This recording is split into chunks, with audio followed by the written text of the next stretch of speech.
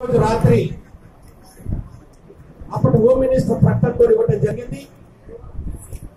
దాంట్లో చివరిగా ఆ bill Telangana bill fifteenth Lok Sabha చివరి నాలుగు రోజుల ముందు పార్లమెంట్ రావటం. ఆ బిల్లు వచ్చినప్పుడు అంత ముందు చెప్పినట్టుగా తెలంగాణ బిడ్డగా బిల్లు ఎప్పుడు వచ్చినా కూడా మొదటి ఓటేస్తానని చెప్పి చెప్పటం. ఆ రోజున బిల్లు వచ్చినప్పుడు మొదటి ఓటేసినటువంటి వాటి ఆ విధంగా తెలంగాణ వచ్చింది.